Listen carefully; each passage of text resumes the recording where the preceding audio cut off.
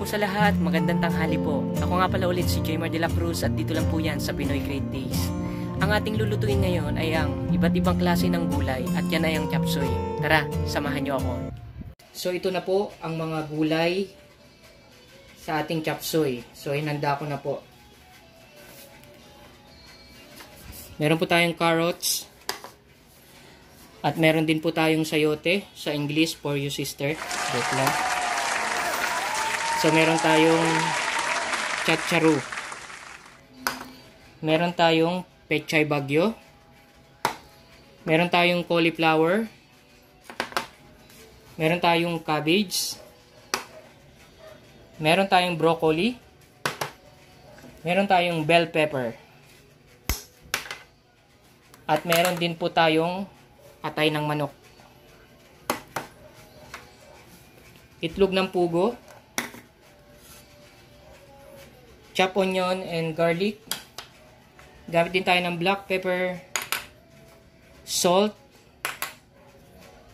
nor seasoning, at oyster sauce. So, yun po, ayan po lahat ang mga sangkap sa ating lulutuing chop suey. So, tara, luto na tayo.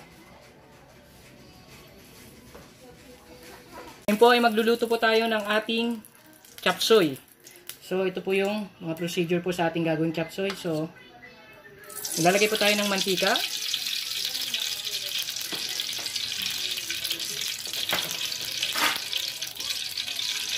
Sunod po ay ang ating sibuyas.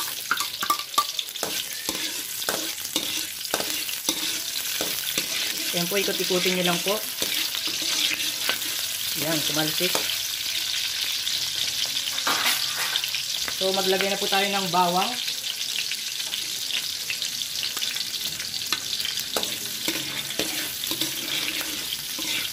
Ayan.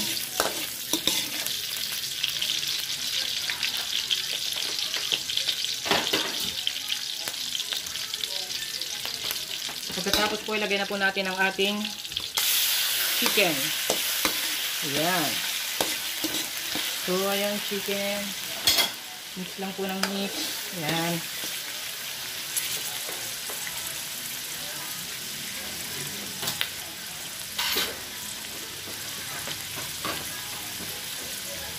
At isabay na rin po natin ang ating chicken liver. Ayan lang. Sabang pinigisa po natin ang ating chicken liver at ang ating chicken breast ay ating haluan ng black pepper. Haluan lang po. Medyo lakasan natin ang apoy. Yan lang po. So, antayin lang po natin mag-brown. Tsaka po natin susunod ang ating mga susunod na ingredients. Ayun po, habang ginigisa po natin ang ating chicken liver at ating chicken breast, maglalagay po tayo ng oyster sauce. Ayan. Oyster sauce. Tapos maglalagay din po tayo ng ating more seasoning. So, 1 tablespoon lang po ating lalagay. Depende po sa inyong luluto. So, mix lang po natin. Ayan, mix na mix.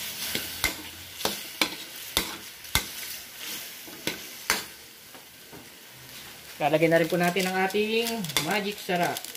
Ayan. So, ayan. Mix lang po ng mix. Antayin lang po natin maluto. So, ayan. So, additional ingredients po tayo. Maglalagay po tayo ng garlic powder. So, ayan po. Garlic powder. Ayan. Baluin lang po natin. Nahan ko lang yung apoy. Tapos maglalagay na po tayo ng ito po, chicken stock. Huwag po masyadong madami. Ayan lang po. So ngayon po, antay lang po natin kumulo. Pero maglalagay pa po ulit tayo ng maglalagay po tayo ng chicken cubes. Yan, para sigurado pong masarap ang ating chop suey. Ayan po. So, antayin lang po natin kumulo para ilagay na po ang ating mga sari-saring gulay. So, ito na po ang ating chop suey. So, ang gagawin po natin, papakuluan po natin ang ating broccoli, cauliflower, sayote at carrots. Ayan. Ayan po, hinalo ko na po siya para ma-dissolve po yung salt. So, antayin lang po natin kumulo at lumambot. So, yun po. Half cook na po ang ating pang chop. Okay, atin na pong kukuhain. Ayan. Ayan na po. So, kailangan half cook lang po siya pag nagluto po kayo ng chop suey. Pangit po kasi pag overcook po siya. So, ayan na po.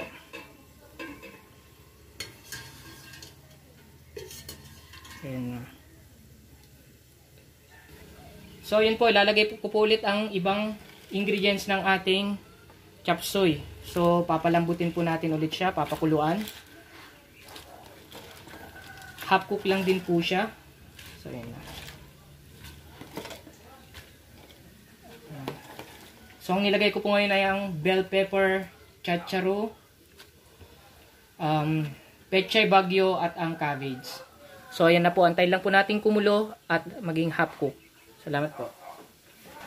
So, ayan po. Kukuhain ko na po ulit ang ating ibang ingredients ng ating chop suey. So, ilalagay ko po siya sa malamig na tubig. So, kailangan po yan ilagay. Para hindi po siya kaagad na malanta. Ayan. Lagyan natin dyan. Ayan. So, mamaya lulutuin na po natin to. Ayan. Isang minuto lang po. Bago ko inahon itong mga ingredients ng ating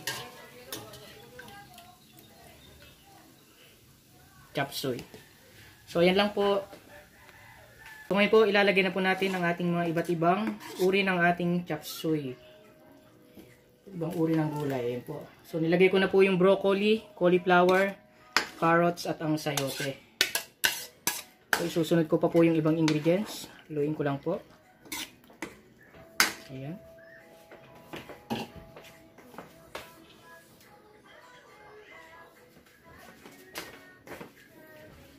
So, ito na po yung additional niya. Bell pepper, chacharu, pechay bagyo at ang cabbage. So, ngayon palaluin lang po natin. Dahan-dahan lang po para hindi po siya madurog. Ayan po. Ganyan lang po siya. Ayan. Ayan. Ayan.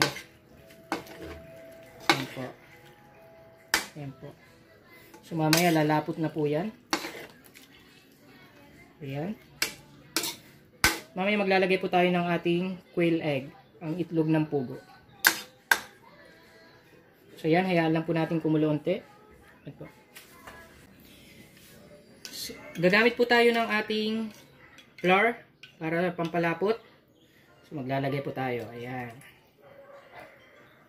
May po tayo ng pampalapot. Ayan. So yan. Tapos yan ay ating hahaluin. Paghalo ng chop suey, dahan-dahan lang po para hindi po siya madurog. Ayan. Ayan. Ayan. Ayan. Ayan. Ayan po. Hintayin lang po natin lumapot ng konti. At ilalagay na po natin ang ating quail egg.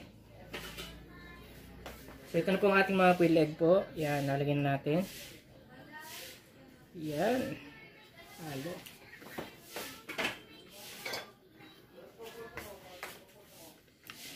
Yan po. So, yan lang po nating lumapot ng unti. At luto na po ang ating chop suey. Ito na po ang finished product ng ating chop suey. So, yung mga ginamit po nating ingredients ay ilalagay na lang po natin sa screen. Salamat po.